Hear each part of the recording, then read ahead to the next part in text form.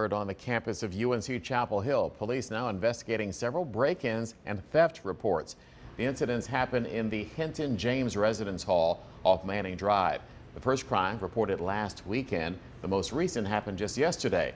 Police are now urging students to lock their doors and to not hold doors open to let other people inside the residence hall unless you're certain that that person lives there.